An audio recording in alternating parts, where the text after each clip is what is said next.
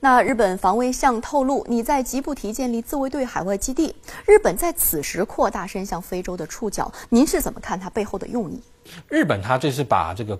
那个触角伸向非洲啊，其实本身让人也觉得非常的这个奇怪，因为日本本身它所要担负的这个防卫责任，是它本土跟它本土以外大概一千五百海里这个距离之内的这个任务来分担啊，这个美军在西太平洋地区的防务。那现在近年啊，由于日本他们在基由这个呃和平派兵海外派兵法案，他们派遣了他们的军队到非洲进行演训啊，那在非洲进行这个日本的舰艇的这个巡护任务啊，保卫日本的这个商。船啦、游轮啦等等，那其实他这次到非洲的布吉纳法索去这个设立这个。补给港口啊，那的确是让人感觉啊，似乎是他有要把这个未来的这个他的触角伸向非洲的可能性。因为如果说今天你日本啊，为了要啊进行这种所谓的海贼对处啊的这个行为，你在啊不管是在波斯湾或周边的这个啊也门啦等等这些国家去设立一个补给基地或补给站，这本身还情有可原。但如果说你到了非洲本土，那接下来就会让大家对日本接下来想要在日本做什么的作为啊，就会非常的感到怀疑了。